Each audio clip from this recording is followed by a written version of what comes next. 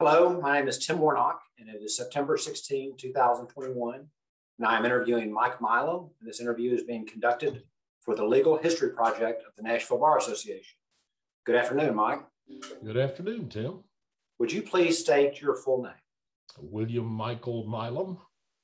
Uh, when and where were you born? I Was born in Nashville Baptist Hospital, November 1, 1942. Well, there are not many uh, Nashville natives. Um, so true. Do you uh, uh, do you have some memories of your gra- of your grandparents? Yes, I do. Yeah, uh, my my paternal grandparents were from Clarksville. They were farmers. Uh, lived on a farm, had an outhouse, uh, the whole nine yards at, at, that time. So, and and then my maternal grandparents were uh, lived in Nashville, the Rehorn Monument Company on, on Lebanon Road, right across from Mount Olivet Cemetery, uh, was their business, a family business. And uh, so I, I grew up with both farm and, and urban uh, influences. Um, uh, tell us about your parents. Uh, my parents, Herschel Milom, was a well, ultimately was a, uh, salesman for American Paper and Twine Company. Uh, he had uh, I, he never went to college. Went, met my mother in in night school at Watkins Institute, and uh, she was a uh, for most of when she was actually working was was a secretary for the uh, one of the education commissioners of the state of Tennessee. Um, uh, when you were growing up, uh, what types of things did you like to do? Oh, it was it was, I guess, pretty typical. I was uh, like outdoor activities for the most part, uh, not having any premonition of video games at that time. and uh, uh, but you know, played outside most of the day. Came in when it got dark. Uh, uh, went in for meals, and and uh, that was that was about it. I played baseball and and football and the the usual uh, neighborhood. It was still a time when you had pickup football and baseball games, uh, which uh, was was a, a great it was a kind of a great small town uh, atmosphere. I grew up in Donaldson, and it, it there was actually uh, open land between Donaldson and Nashville at that time. Uh, so we, we, didn't get into town very much. Donaldson was all we needed. So a great uh, youth as far as I was concerned. Where, where did you go to elementary school? Uh, started at Donaldson Elementary, moved to Stanford Elementary when it was opened, and then we went back to Donaldson High School. Uh, that was before they opened uh, the the, uh, the, one on McGavock, whatever McGavock High School, I guess. Did you, um, uh, when you went to high school, did you continue to play baseball or other sports? I played football mostly in high school. Was manager for the basketball team, uh, where I first saw Brenda Lee, actually. She was a cheerleader from Maplewood, uh, the, the, junior high league. And, uh, but, but mostly my focus was football as far as sports is concerned. Did you um, uh, have a summer job when you were in high school? Oh, yeah. I had jobs both summer and sometime during the school year. I, I think my first real job for somebody not related to me was was uh, at a what I would refer to as a Dairy Queen like. Uh, it's called Dairy Delight in Donaldson, and I worked the the window as a server, and uh, then I worked uh, got was hired by Frank Beller, the owner of the Lad and Dad Shop, the preeminent men's store in Donaldson, and I worked there uh, for two or three years, both uh, summer and uh, during the school year some, and uh, then ultimately started working construction work as when, when I was, a, I guess, a junior in high school in the summers. Had continued that through through college most of the time. Where did you go to college? Uh, Middle Tennessee State University. How did you How did you select that school? Uh, actually, the going to college at all was not a tradition in my family, and and after I graduated from high school, I really didn't think much about it until a neighbor suggested it. Uh, that I really needed to consider doing that, and and uh, uh, some of my friends were going to Middle Tennessee State, so uh, I just I gravitated there also, and and it turned out to be a, a great education for me. Uh, I majored in economics and political science, and uh, that kind of started me on the road to uh, liking analytical things, uh, the, the, the process of analysis and and kind of rooting out the the truth in things. Did you have any particular teachers or courses that influenced you? Uh, well, one in high school, uh, a guy named T Code. I still don't know what the T stood for, uh, but but he was the one that that started uh, me challenging the the uh, known or assumed things and, and asking questions about everything that I was told. And then that continued in, in, in college. Uh, Norman Parks was the head of the uh, political science uh, department. And I, I, don't know whether he was a lawyer or just respected lawyers, but it basically turned out to be a pre law course. Uh, and and not that I ever considered at that time that I would join legal profession, but uh, I still enjoyed the, the process, both both in the ec- economic area and and in political science. Did you uh, did you go straight from college to law school? No, no. I uh, when I started college, I uh, it was, of course, a time when draft numbers came up pretty uh, rapidly. So, in order to be able to finish college before joining the service, I uh, enlisted in the Navy Reserve and and remained uh, as an enlisted reserve member throughout my four years of college. And and after that, I went, of course, to uh, OCS decided that, that I had two years obligation as an enlisted and would have three as an officer. And the officer sounded a whole lot better to me. Uh, and OCS stands for Officer Candidate oh, Officer Candidate School. I'm sorry. Uh, so, uh, yeah, but college was a great, uh, as, as it is for everyone. I, I, I learned a whole lot more out of class than I did in class uh, and, and social areas and, and uh, student government.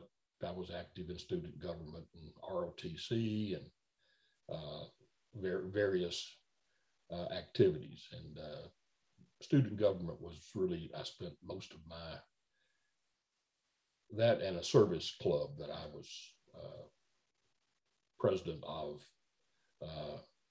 well, president my senior year and a member for the other four years.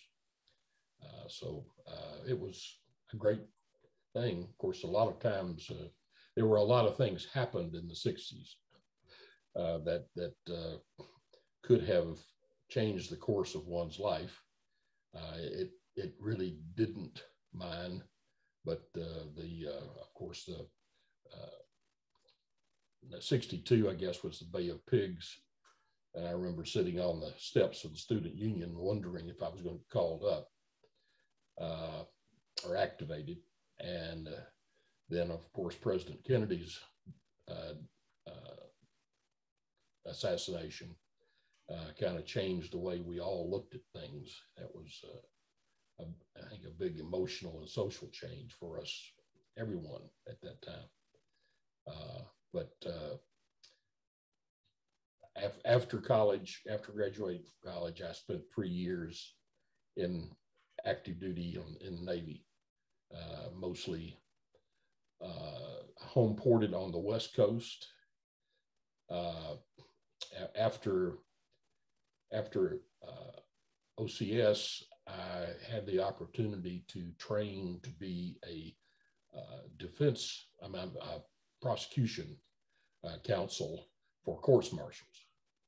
Uh, at that time, at least at that level of courts martial, there were no lawyers required to be involved. Had you already been thinking that you might go to law school? When nope, you had no clue whatsoever. It just sounded interesting to me, and uh, there was some competition. It was it was a well-known school uh, within within the Navy, and and uh, sounded like a great, great opportunity. So I I took it, and uh, so spent a month month and a half, maybe I've forgotten how long the course was, but uh, training to to do courts martial and being trained in military justice, code of military justice. And what was involved in a courts martial? The uh, at that time, of course, you had uh, the, I think the lowest uh, was a, a, summary courts martial, and and uh, there, there was a limitation on punishment, but but basically, it was all about uh, prosecuting the, the relatively minor offenses that occur in the military, particularly in the Navy, where you come into a home port. I mean, not a home port, but a foreign port. And uh, t- sailors tend to find themselves in trouble or doing, doing things they shouldn't.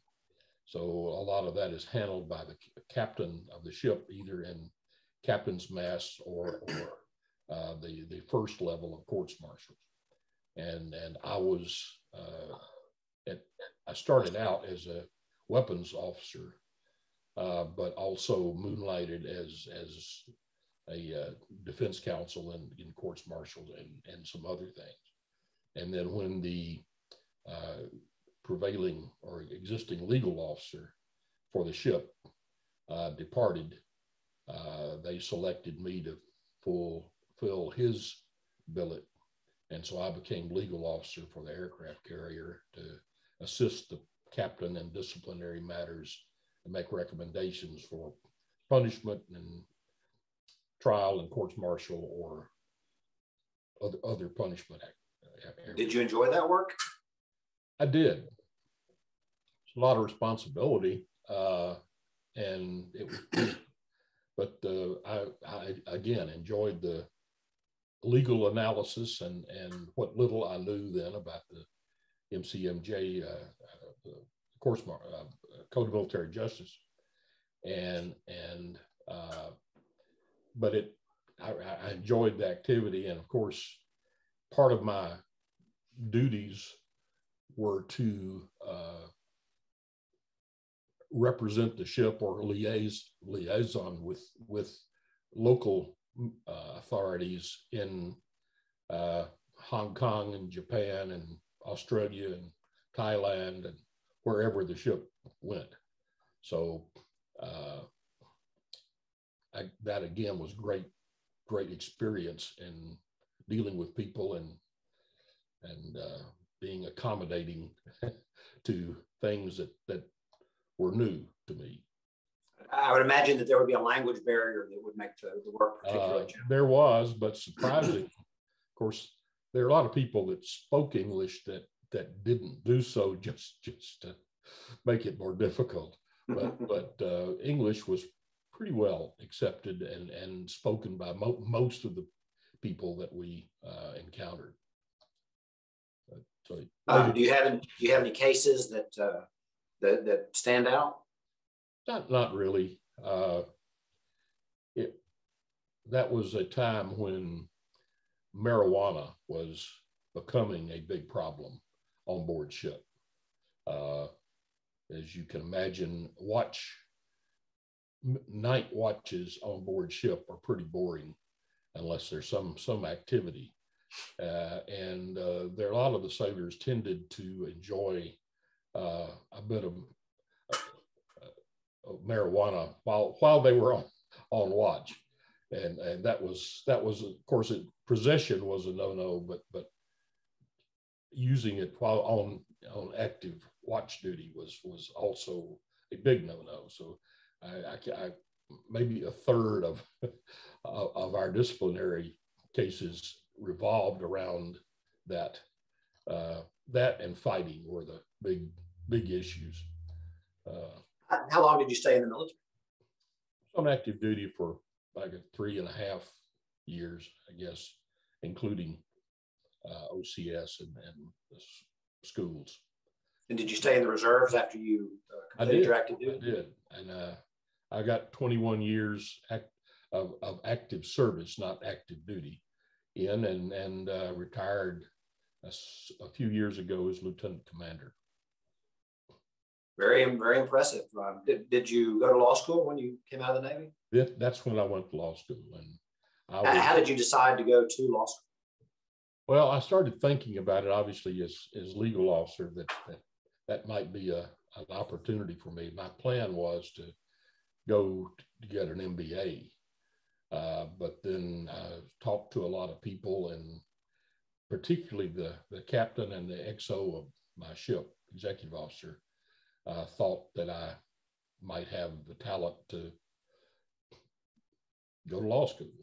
And in fact, the executive officer contacted the Navy and, and actually they made me a, a proposal to stay in uh, the Navy. They would not pay me, but they would promote me through law school uh, to go to law school on the GI Bill and then come back and, and serve for a few years in the Navy uh, in, in the JAG Corps. But uh, I didn't, that wasn't attractive to me. I wanted to come back to Nashville or someplace and, and go to law school. So, and, well, where did you go to law school?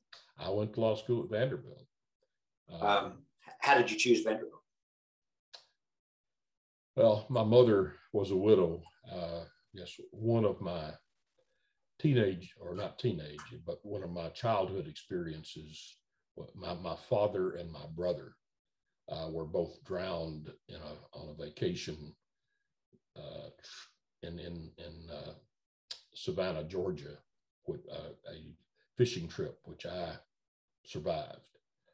Uh, and so my mother was a widow, and I felt I needed to be here in Nashville. And obviously, the the only full time accredited law school at that time in Nashville was was Vanderbilt. And I applied to Vanderbilt and and Duke, and I think UCLA. I took the LSAT at UCLA, uh, but uh, decided on Vanderbilt, and they offered me a, a, a little scholarship, and and uh, that with the GI Bill, and and working, got me got me through law school. Um, did, did you have any professors that that were noteworthy? Oh yeah, the the the ones that I think most of my generation remember. Paul Hartman was not only a great professor, but but he indirectly, or maybe even directly, was responsible for my getting in Vanderbilt because my grades at MTSU were okay, but they weren't. I didn't have a 4.0 uh, average. So, but there were two letters in my application file, recommendations, one from the executive officer of my ship and one from the captain of our ship. And Paul Hartman was it was a an active Navy captain in the intelligence corps, uh, in an intelligence unit in Nashville. So he knew that those letters didn't come easily. Uh, and I think he never said, but I, I, think frankly that those recommendations were what got me into Vanderbilt. Uh, so Paul Hartman and, and of course John Wade for torts and uh, McCoy, uh, another teacher that made you think about everything and anything that came out of your mouth, you had to justify. Uh, great training for a lawyer. uh, they, they, they, it was a great faculty and, and, and one that I, uh, I feel fortunate to have had at that time. Well, what year did you graduate? 1971. Uh, um, did, did many of your classmates stick around Nashville? Uh, a few, Larry Threlkel, uh, Frank Grace. Uh, there are probably some others that I, I can't recall right now. Uh, we were supposed to have our 50, 50th reunion, of course, uh, in October, which has just been moved to 2022. Uh, but uh, most of my friends, uh, not all, but most were uh, veterans that had, like me, who had done service and then went to law school. So it was a good group of us uh, that did that, and it was great group of friends to have at that time. How did you um, How did you like the law school curriculum? I liked it. I liked it. I mean, as much as any law student can like it. Uh, it was hard. Uh, even even then, it was hard. I'm sure it's much more difficult now. Uh, but but uh, it was not so much learning the stuff, but again, learning how to think. Mm-hmm. Uh, and you know, Paul Hartman was great at that, and as as was uh, McCoy and and others. Uh, uh, thinking like a lawyer is far more, if you know where to find information and can analyze it and think about it correctly, you can be successful. Did you uh, did, did you work while you were in law school? Yes, I did. What did you do? Uh, I was the first law clerk ever hired by uh, the, the law firm Barksdale, Whalley, Leaver, Gilbert, and Frank. Uh, they hired me. The only reason I went there to the reason they hired me was that I had interviewed with Richard Frank and John Whalley as uh, commanders in the Naval Intelligence Unit in Nashville, of which Paul Hartman was a member. And uh, those they were the only lawyers I knew in Nashville. I lived here all my life. I didn't know a single lawyer. Uh, so uh, I went to them begging for some kind of work that would help sustain me and my new wife at that time. Uh, and uh, they hired me to, as a law clerk. They didn't know what to call it, uh, but I was basically a gopher for the first couple of years. But then I started working do, doing all, all the library replacements and maintaining the library and running running errands and getting to sit in most importantly on the discussions at the end of the day that the lawyers and and some of the staff used to just sit down and have a cocktail at the end of the day and kind of kind of review what what had gone on and tell stories and that sort of thing that was the greatest education a lawyer can have i think that sounds like it would give give you a, um, a different perspective than a lot of your classmates. Oh yeah, approaching yeah. the coursework. Yeah, uh, we now call those people summer associates. and we uh, probably pay them much more money than you. Yeah. So, um, uh, uh, tell us about your family. Uh, family. I, I was married er, at, when I went into law school, and uh, had a son. Uh, that's my only child. Uh, uh married again, and uh, of we just are celebrating today, as a matter of fact, our 21st anniversary. Oh, congratulations! And thank you. And uh, we're I've got five grandchildren. we live around in the Warner Park area, just west of Nashville. And uh, uh, fortunately, one of my grandchildren lives with me, uh, with us, and and the rest of them are about uh, five to eight minutes away uh, in over in Brentwood. So uh, it's it's great to have family near. We don't have to travel to visit with them. My wife's family is from uh, Louisiana, so we make that trip frequently. But uh, other than that, I, my my family is here, and of course her her two daughters, uh, my stepdaughters Hannah and Molly, are also here. Well, will, will anybody follow you into the legal profession? No. I, my my son decided early on that that the law was not for him. Uh, I think because of the number of hours I spent in uh, doing it and, and the things that I missed. But of course, he's a partner at Lattimore Black now as an accountant, and he's spending the same hours. Right. Uh, he just handles it better than I did. Uh, works from home more than, of course, we were not able to work from home back in those days hardly able to work at the office uh, with no technology. But uh, um, so, uh, what, what, do you remember about the, the bar exam and transitioning from law student to lawyer? I, I remember being scared to death at the bar exam, and and just thinking how embarrassed I would be if I didn't pass the first time because I actually had a job that I had been offered by the firm I was working with, and and uh,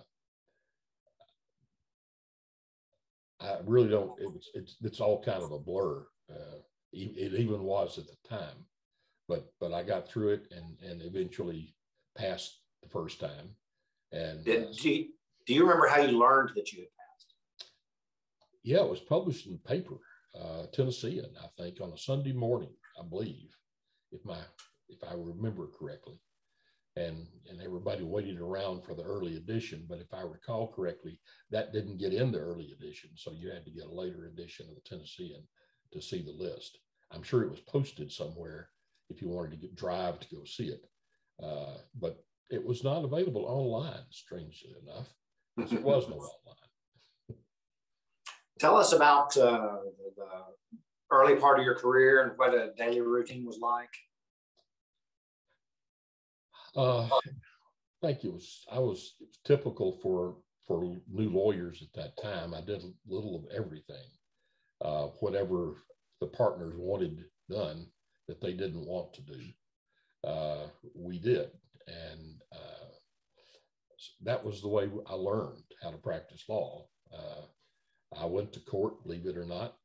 Uh, I uh, did real estate. I, I did lots of things when when the law was not so complex and you had people to guide you, uh, look over your shoulder and make sure you did it correctly and the clients weren't harmed by our learning experience. Uh, and so uh, John Barksdale was, of course, a great influence in, in terms of what the ethical and, and uh, social position a lawyer should should uh, represent. Uh, I saw him only once, not wearing a jacket, uh, a suit, uh, his suit, and he then he had a vest on. Uh, and it was 100 degrees in our office. The air conditioning had gone off, so he he finally took off his jacket. But uh, He's, he was the epitome of, of the, the wise, smart lawyer that I, I thought. Where, where was your office located? We were, I think, on the seventh floor of, of a Third National Bank building, corner of Fourth and Union. Uh, right across the street to the south was the L&C Tower, uh, the only skyscraper in Nashville.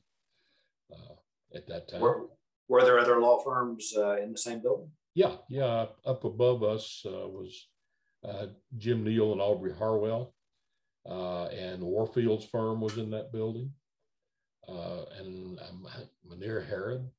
There were several in, in that building because it was one of the newer office buildings in the area, and uh, there weren't that many downtown.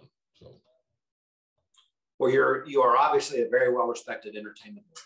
How did you how did you uh, develop your practice from a generalist working for all the lawyers in the firm to uh, the, the specialty work that you do today? Well, I first have to admit to loving music, and I was actually a uh, drummer in many bands uh, during high school and college, and uh, some in the Navy actually. Uh, but I was not talented enough to play major sessions or anything of that nature and knew it, thank God. And also uh, sung, was a singer with uh, a boy group, if you will, uh, at the time. There were many of them, uh, a lot of the, the Vogues and the freshmen and so forth. But, uh, and I was invited, invited to go to Vegas uh, to play in the lounge with, with that that group and, as opposed to going to college. And I selected college. Uh, might have been a star, but I suspect maybe I made the right decision. Uh, and so I had a predilection, if you will, for for music and and creative people. Uh, it just so happened that Dick Frank, uh, Richard Frank, was was the kind of the preeminent entertainment lawyer in Nashville at that time, who kind of achieved that by he started he was a LLM from NYU in tax, so a lot of the entertainers came to him for tax work, and through a former partner of his, uh, they developed a reputation for helping out the entertainers in town from Opry and and and some others. Roy Orbison was a client. Uh, Hank Senior Estate was a client, and and uh, uh, there were several. Like he represented Acuff Rose, uh, which was obviously the biggest publishing company in Nashville at that time. Uh, one of the bigger in, in the in the country. I mean, as far as as as the country genre music. Uh, and so just naturally, some of the people I worked for as a, as a very junior lawyer were those entertainment folks. Dick was also uh, general counsel for the Country Music Association and the Country Music Hall of Fame and Museum. And he asked me to help him with those clients. So I accompanied him on at board meetings uh, many of which were out of Nashville, and got to know a lot of the people on the CMA board, and and I also represented a little while after that the, the Gospel Music Association, uh, and got to know that that those folks. So. Uh, it, I, there couldn't have been a better opportunity than Dick gave me for uh, networking and and getting to know decision makers. Uh, I didn't ever intend, and and I didn't uh, represent or take over any of his clients, except for one, which was a learning experience.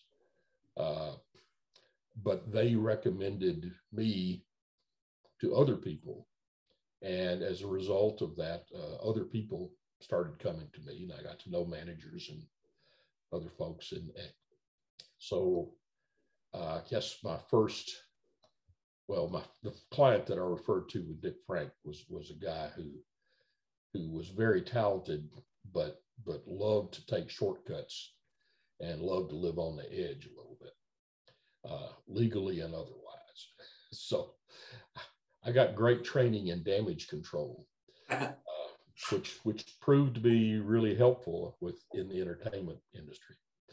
Uh, but I guess my first two uh, clients who came directly to me, uh, one, first one was Ricky Skaggs uh, when he was getting ready to move from Sugar Hill Records to, to Columbia Records, or what is now Sony.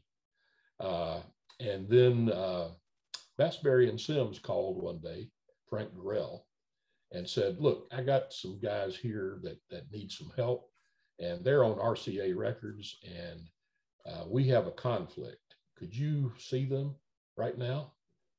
I said, sure. Who are they? He said, I don't know. It's, it's a, it's a group of guys. I think they're called Alabama. Uh, so they came over to my office. We sat and talked, and I still represent Alabama today, as well as Ricky Skaggs, for that matter. Uh, and but that that was the beginning, and and then word gets out. It's a small, small industry, and and I've always felt like a satisfied and happy client is is the best marketing any lawyer can do. And um, uh, OP toot your horn. So uh, now, you have your own firm now. Tell us about the the evolution of uh, coming out of law school and working for the first firm that you first firm you worked for oh, until okay. where you are today. Well, uh, briefly, uh, it started out as Whalley. I mean, uh, Barksdale, Whalley, Leaver, Gilbert, Frank. Uh, Mr. Barksdale passed away. Uh, there were some other changes. Walter Leaver left.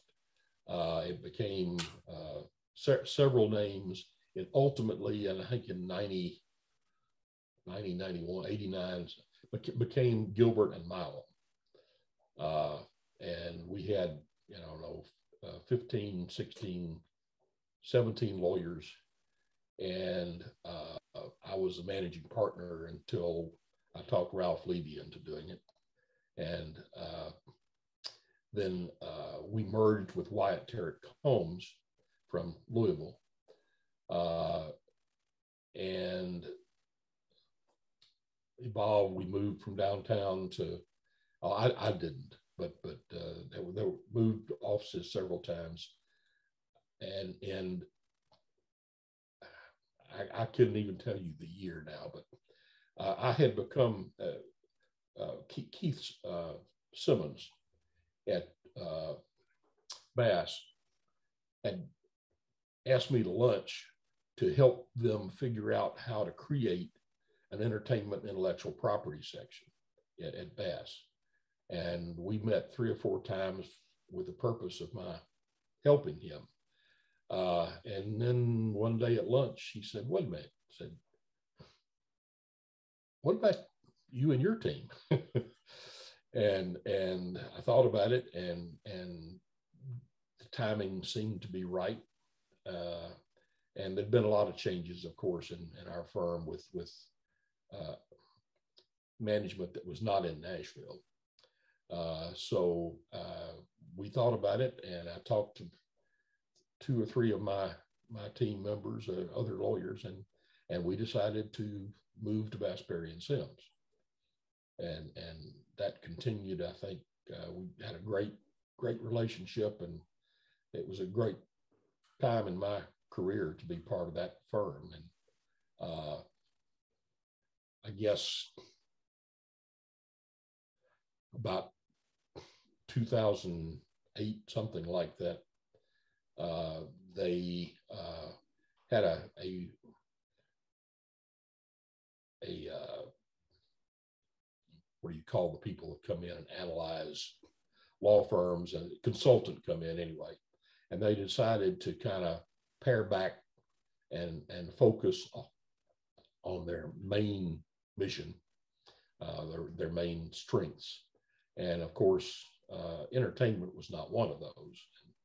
And, and, our practice is just different from a normal law practice because it, it, it's really a practice for very small, closely held businesses. They just happen to be in the entertainment business. Uh, so, you know, the co- committees approval committees for clients and things like that were, were always a, a, problem for us all. So uh, we, I talked to Keith and, and we, Bass was just uh, so gracious in uh, helping us start our own firm and, and uh, their support helped us really do that. It would have been much more difficult otherwise and and we still work with Bass on a number of things and use use them uh, for things that we don't do, which are a lot of things. in entertainment, I mean, employment and, and antitrust and all those lawyer, real lawyer things that we don't do. Uh, so uh, uh, we started our firm and and with it with uh, David David Crow, Chris Horsnell, me, uh, and uh, and Robin Joyce, and then started adding people. And Robin left, and uh, we we now have six lawyers uh, who do nothing but entertainment intellectual property. And uh, we do some business work, of course, around that. But but we then engage other specialists, uh, litigators, including your firm. Uh, Thank you. My, my, go-to uh, call, and and uh, but but we use try to get the best advice for our clients in the areas that we don't cover, uh, which works out well for us and lets us concentrate on what we do pretty well. So, is the plan for you to continue to focus on entertainment law within your firm? Yes, yes, it is. We're looking uh, very quietly for a, a seventh lawyer to add. We've got a little bit more on our plate than we can easily handle, and particularly David Crow. So uh, we're going to expand by one lawyer again. We've never we never wanted to be big. Uh, there, I, I learned at Bass that you have to work really hard if you have a bunch of lawyers because they're hard hard to manage. Uh, and and so we've kept it small. Uh, every lawyer we have right now is a partner. We have no associates. Uh, we've structured in a way that everybody is successful based upon what they what they do uh, and and uh, what they bring in and, and, or the work they do, whether they bring it in or not. Actually, so uh, it's it's worked well for us, and we continue expect to continue. I think in the same vein uh, for the foreseeable future. But where is your office located? Uh, we're at 3310 West End Avenue, near the corner of West End and Murphy Road, uh, on the yes the north side of, of West End, across the park, as as you come up to Mur- Murphy Road intersection. Um, how would you describe the, uh, the, the the biggest changes in entertainment law uh, from the time that uh, Mr. Frank was mentoring you uh, through through the present day? Uh, well, the, inter- the changes in entertainment practice in Nashville have been dramatic simply because of the change in ownership and the conglomerate uh, way in which the big entertainment record companies and management companies and and uh, agencies work, uh, and the the growth or growing up maturation, uh, if you will, of the Nashville offices of those companies. Uh, when I started, uh, all decisions of any note were made in New York or or LA uh, even though they had offices in Nashville and they, they had presidents, that their authority was pretty limited. Uh, that changed dramatically through, uh, I guess, the late 70s and 80s. And, and now uh, there, no, no one is autonomous anymore, but, but the Nashville uh, offices of the major companies uh, pretty much are run locally and and of course with reporting authority to to the to the headquarters. But people like Randy uh, and, and and and Mike Mike Dungan at, at Universal uh, uh make their own decisions.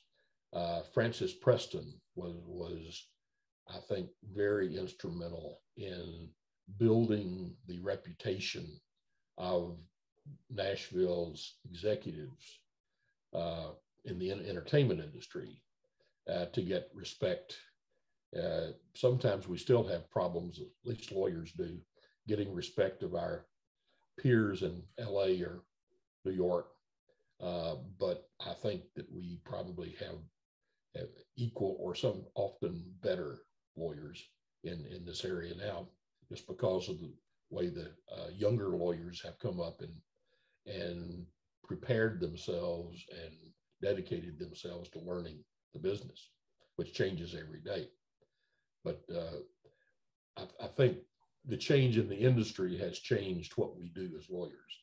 And now, when we have to negotiate, negotiate a record company contract or a, a, a major publishing contract, uh, probably eight times out of ten, seven times out of 10, we're dealing with an in-house lawyer in Nashville for those companies and, and not New York.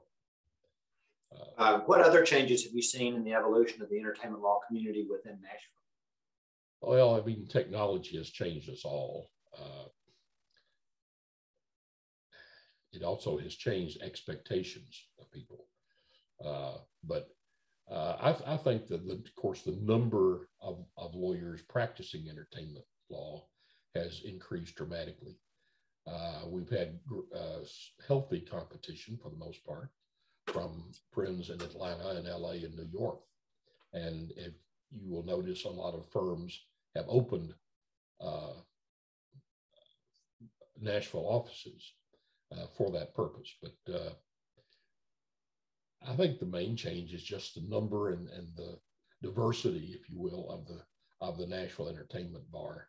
It's probably quadrupled uh, in, in the last 15, 20 years. Moving away from the law, uh, I know you've been very active at Vanderbilt, uh, teaching in the law school. Um, tell us about your community involvement. Uh, I'm not. I'm. I'm not number one a politician. Uh, love politics, but never want to be be one. Uh, but I, I, have been involved in in uh, I, again just very fortunate. Uh, well, after right after I graduated from law school, uh, we were in the midst of transitioning to the new copyright law. At that time, uh, the the Vanderbilt professor who taught copyright uh, went to uh, Emory to as, as dean, I think. Uh, so, and they had hired a, another lawyer, I mean, a, another teacher to teach copyright law, but for some reason, uh, they asked me to come teach copyright law at Vanderbilt, which forced me to learn and teach both the old law and the new law. And had it not been for that, I'm sure that that I would not have acquired whatever expertise I have in copyright law, which of course is the foundation of entertainment law. Uh, and so that that teach teaching really augmented my skills and, and ability to to help people in in the area of copyright and, and some related fields. Uh, and uh, other aspects of community involvement uh, mostly revolve around uh, the Nashville arts community. worked on the board and then at one time was chairman of the uh, Nashville Arts Council. I've forgotten what the name was now.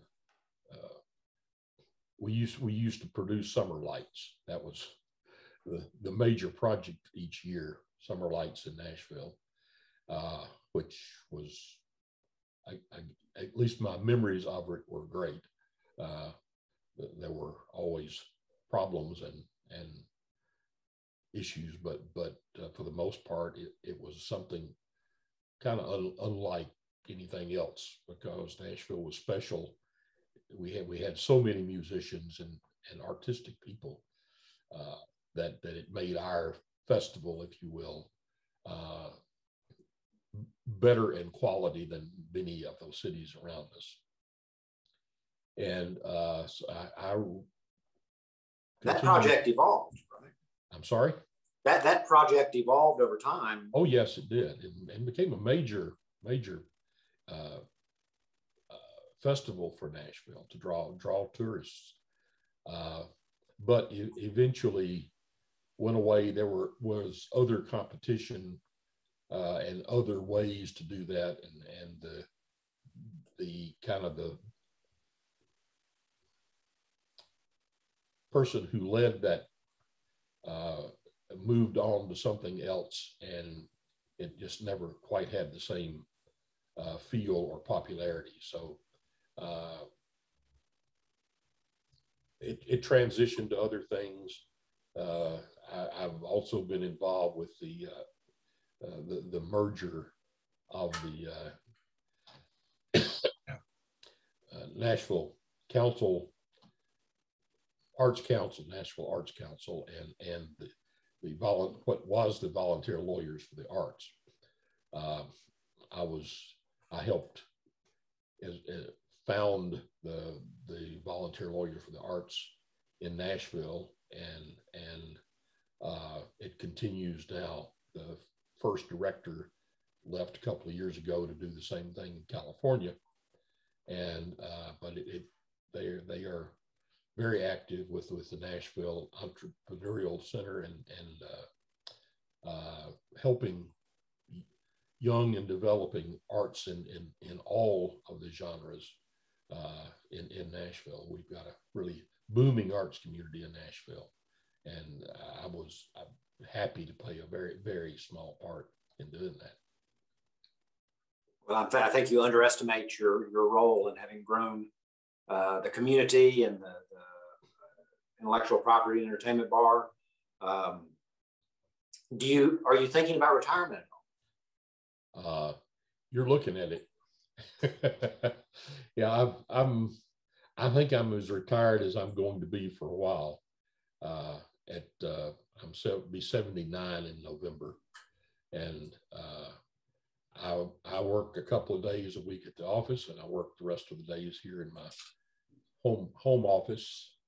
Uh, I generally don't have the same uh, level of activity uh, intentionally that, that I used to have, but uh, I still enjoy the people and my friends and the uh, intellectual challenge. And as long as my body and mind hold up uh, and, and I'm, I'm not harming clients in any way, as a result. Uh, I intend to, intend to continue that. Well, as I um, as I as I told you when we talked a few weeks ago to, to get ready for this, the outline has a blank final question. Um, did you give some thought to the question that you would like to ask yourself? I, I yes, I've, I've obviously thought about it a lot, but I'm not sure that there's any capstone question for for this. I, I I'm a big advocate of teaching younger lawyers and teaching them in the way that I was taught by counseling and, and letting them jump in the water, but being there to pull them out and uh, that and and and the fact that that being a lawyer is all about earning the trust of another human being. Uh, and I think as lawyers, we, we really have to be above reproach, at least in our professional lives. Uh, and and we I try to associate myself with partners who have the same philosophy. And I think when you do that, integrity uh, is it covers a lot of area and and it makes you really conscious about how you serve your clients how well you serve them not taking shortcuts and the easy way out of things just all, all, all life values that, that I think are, are fundamental to, to at least my happy life and, and my partners. So, and I frankly, I see that in your firm. I see it in, in some others. Thank you. That's, that's the thing I think we're in danger of losing when we made the change from hourly rates. I mean, from from billing based upon the Nashville Bar Association recommended rate for a particular job or work to billing on an hourly basis changed. It was a it was you know, tsunamic change in in the professionalism of lawyers, I think, and we've always tried to kind of maintain the attitude uh, that that led us b- before that change, regardless of the hours worked, and you know that's hard to do in a large firm. That you, it's the way you manage lawyers have to, but but that's one reason we've tried to remain small and agile, and with with time to spend with newer lawyers, younger lawyers to to make sure that they they get the grounding that they need. Well, Mike, thank you so much for your time. The uh, Legal History Project of the Nashville Bar Association is grateful that you uh, were willing to take the time to, to, to, be interviewed. This has been a fantastic hour. Um, thank you very much. Well, I thank you very much for even they even considering me for this project. It was, a treat. Thank you very much. Well, good. Thank you. Uh, well, thank you.